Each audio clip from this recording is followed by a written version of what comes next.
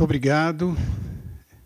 São Paulo é uma cidade impressionante. Até é, a poluição torna São Paulo impressionante. Por exemplo, quando você está atravessando de bicicleta pela calçada, a ponte da cidade universitária, é, e você, em julho, olha o pôr do sol à sua direita, é raro você ver um pôr do sol tão espetacular, porque as partículas de poluição é, a Ana Carla podia incluir isso numa das sensações de São Paulo. Se ela me perguntasse, essa é a minha sensação de São Paulo.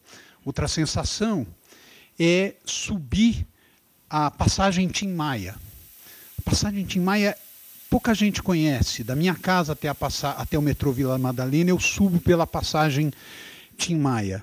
A parede lateral está toda grafitada e os grafites vão variando. E na passagem Tim Maia, as pessoas se cumprimentam quando vão descendo. Outro dia uma mocinha vinha descendo, muito bonita, eu olhando, ela estava de salto alto.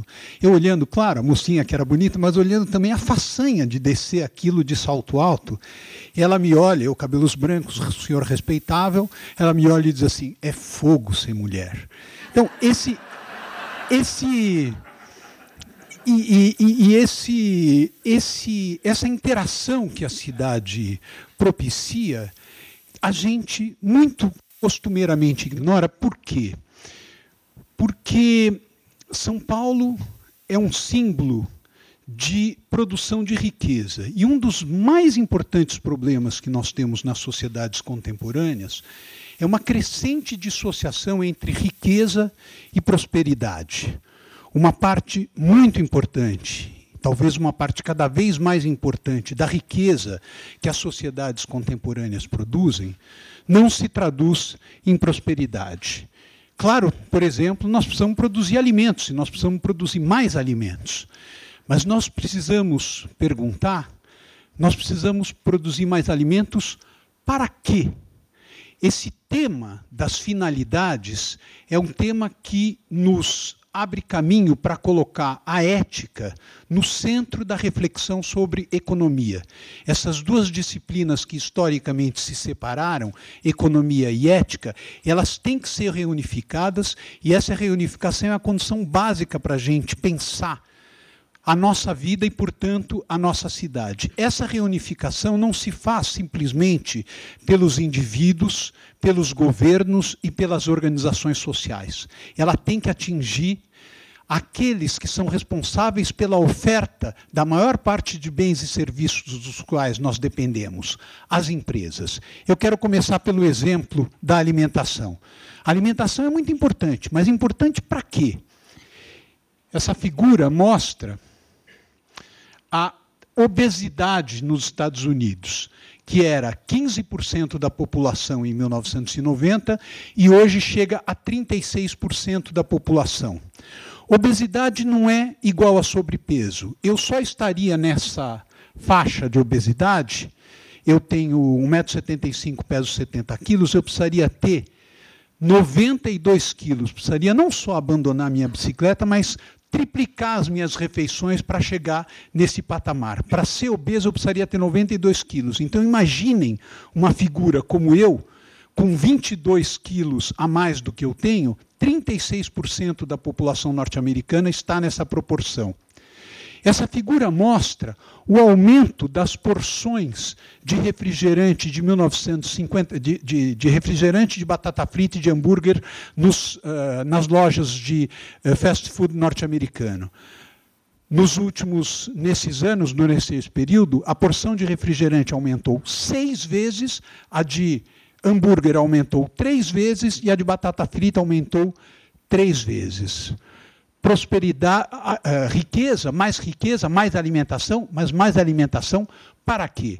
Essa questão se torna crucial quando nós examinamos e constatamos a emergência de novos consumidores no mundo contemporâneo. Em 2010, quando a população mundial aproximava-se de 7 bilhões de habitantes, nós tínhamos 2 bilhões com renda superior a 10 dólares por dia. Em 2030, serão 5 bilhões numa população de 8 bilhões de habitantes. É vergonhoso que ainda haverá muita gente em situação de privação e miséria absoluta, mas essa emergência nos coloca a urgência de pensar a relação com aquilo que nós fazemos com os bens materiais que compõem parte importante da nossa vida. Ora, uma parte crescente dessa população estará em cidades e em cidades cada vez maiores. Em 2025, que mostra aqui essa linha uh, azul claro, vocês veem que aqui, aqui, são cidades com menos de 500 mil habitantes e a partir daqui uh, menos de 500 mil, 500 mil a 1 milhão, mais de 1 milhão a 5 milhões, 10 milhões e aqui acima de 10 milhões. Vocês veem que em 2025 a proporção de crescimento maior está justamente nas cidades acima de um milhão de habitantes que vão ser essas cidades, o que vai ser essa população mundial cada vez mais concentrada em cidades? O que, que nós estamos oferecendo? O que, que o sistema produtivo, o que o setor privado, sobretudo, está oferecendo para que estas cidades se tornem cidades em que pessoas possam florescer, em que a interação humana possa se fortalecer, em que sejam, em suma, cidades melhores. E eu vou abordar aqui rapidamente dois setores. O primeiro, que não dá, sendo paulistano e, sobretudo, gostando tanto de andar pela cidade e andar de bicicleta, não dá para abordar, deixar de abordar, que é o tema da mobilidade. São Paulo passou nos últimos anos, na minha infância, a rua em São Paulo era uma rua da criança assisti uma vez uma conferência do professor José de Souza Martins, muito tempo atrás, isso sempre me ficou na cabeça porque era a minha experiência. Não só a rua era da criança, mas a gente jogava bola na rua. Eu jogava bola na Alameda Lorena, imagina, entre a Padre João Manuel e a, e a Ministro Rocha Azevedo. E aí jogava bola, olha o carro, uh, se jogava bola com crianças vindas de várias origens sociais. Eu cresci brigando na rua, briga de rua, brincadeira de rua, jogar bola, tudo, com crianças que pertenciam a uma faixa social totalmente diferente daquela da minha família. A rua hoje foi proibida para as crianças e, portanto, foi proibida para os cidadãos. Foi proibida por quê? Por um complexo formado pela indústria automobilística e pela indústria de construção civil que desfiguraram as, a nossa cidade. E nós precisamos cobrar, sobretudo desses dois setores, sua responsabilidade no reerguimento, na construção, na emergência de uma cidade melhor. Hoje, em São Paulo, 20% das pessoas ficam imobilizadas em 70% do espaço. O problema do trânsito é, em primeiro lugar, um problema de desigualdade. É uma das expressões mais emblemáticas da desigualdade. Mas vocês sabem que as desigualdades não atingem apenas quem está na base, atinge também quem está no topo. Você viver cercado por uma, por uma faixa, por, por altos muros, evidentemente, não te traz uma vida agradável, mesmo que você respire aliviado quando você escapou da violência ao entrar no seu apartamento. Que vida, que, que, que ideia de uma vida social. Essa, essa, essa cidade que nós temos hoje é uma cidade que faz com que andar de bicicleta seja uma tal aventura que isso seja lembrado pela minha ex-aluna. Cadê? né? E hoje eu trabalho numa, na Faculdade de Economia, onde há mais de 200 professores, muitos deles morando em volta da, da cidade universitária, eu acho que eu sou o único que vou de bicicleta para a escola. E, e, uma coisa engraçada com bicicleta, outro dia eu fui, fui eh, numa, num, num, banco, numa, numa grande empresa, quando eu fui estacionar a bicicleta, o fre... o... a pessoa da garagem dizia, aqui não tem lugar para bicicleta. E ao meu lado tinha um Mercedes. Eu disse, mas como assim? Olha o tamanho da bicicleta e olha o tamanho desse carro que você está levando para estacionar. Como assim não tem lugar? É, vocês não acreditam o trabalho que deu para eu conseguir descer com a minha bicicleta no estacionamento uh, do imóvel. Isso tudo traz um prejuízo fantástico. Por exemplo, já há cálculos mostrando que os ônibus custam mais caros em função dessa privatização do espaço público. Essas são figuras sobre a velocidade média de circulação de automóveis em São Paulo numa sexta-feira no fim da tarde.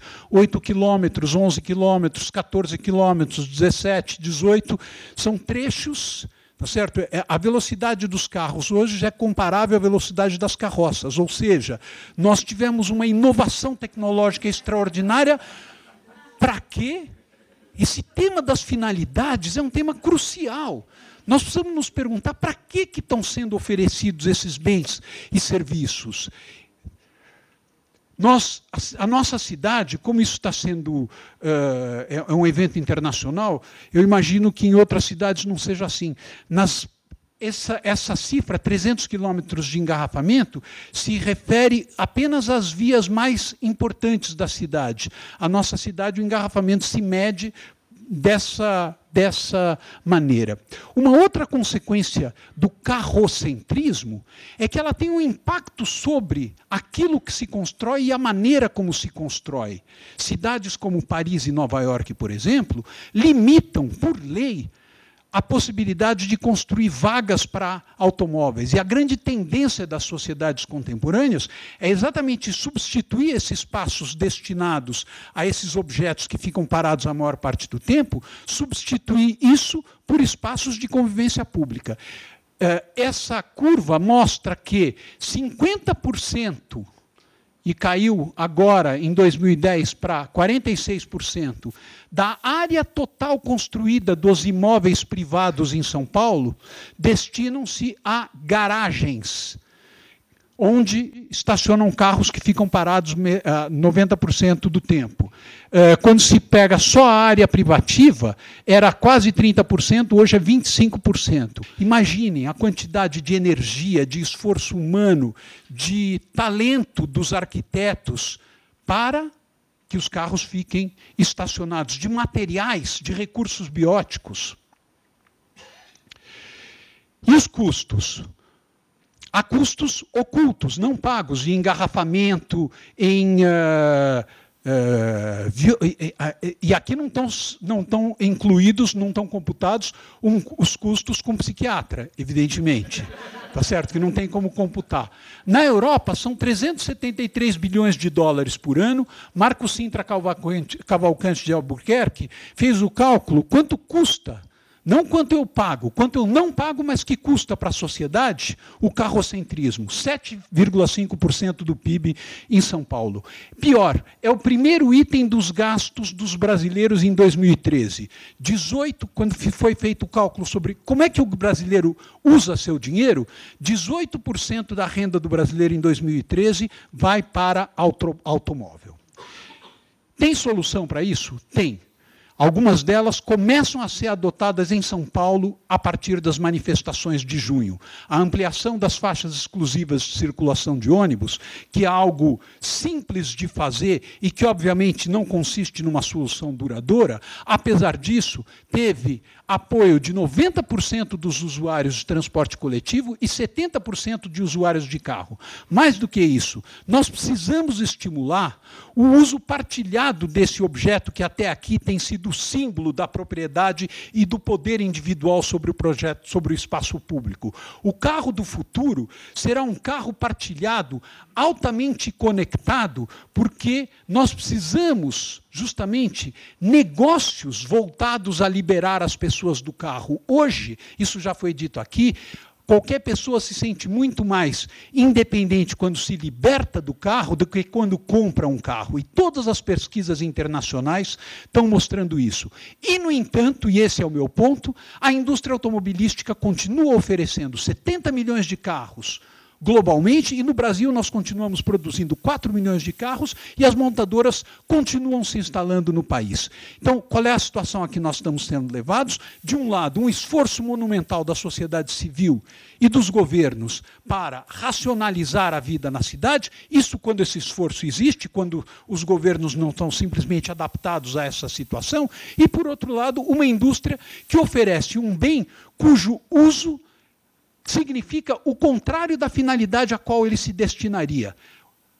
O automóvel individual hoje é o contrário daquilo em função do qual ele foi criado, é o contrário da mobilidade.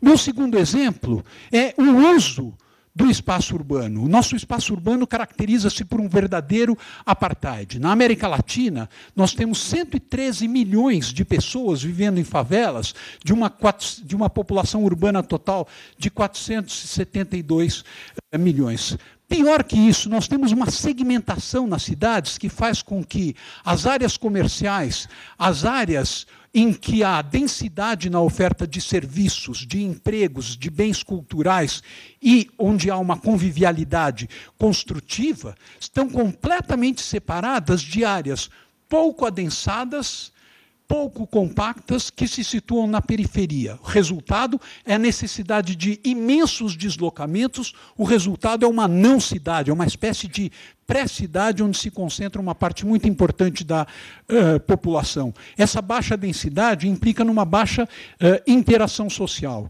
Eu queria mencionar um projeto que foi feito recentemente por um grupo por uma organização não governamental criada a partir da iniciativa de um empresário no Brasil, o Urbem, que aproveitou a proposta de uma parceria público-privada para fazer um projeto no centro de São Paulo para 20 mil domicílios, e não é uma coisa pequenininha de fundo de quintal, 4,6 bilhões, ganhou a licitação de todas as grandes construtoras. Qual é o princípio? O princípio é suprimir a separação entre residência eh, e comércio, é fazer edifícios que não tenham muros, fazer edifícios nos quais a população possa e queira circular a partir de módulos integrados, ou seja, cidades compactas, cidades integradas e cidades conectadas.